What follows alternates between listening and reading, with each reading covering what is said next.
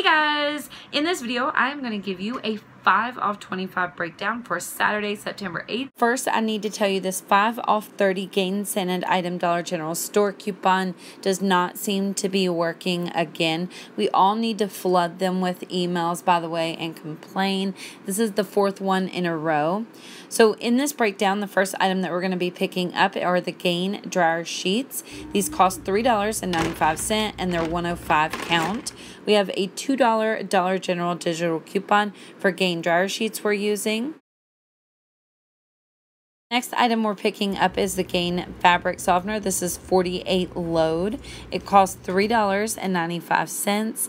There's a $2 Dollar General digital coupon that we're using for Gain Fabric Softener 48 load or larger. Choose between the next two items. So you're either going to get the Gain Liquid laundry detergent 19 to 25 load or the Gain Flings 12 to 14 count.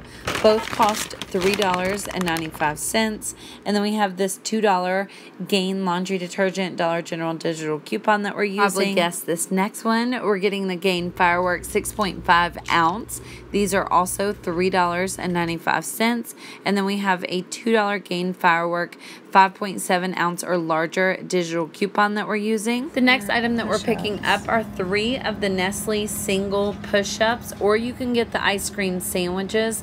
These are a dollar each and we have this $2 off three Nestle ice cream digital coupon that we're using.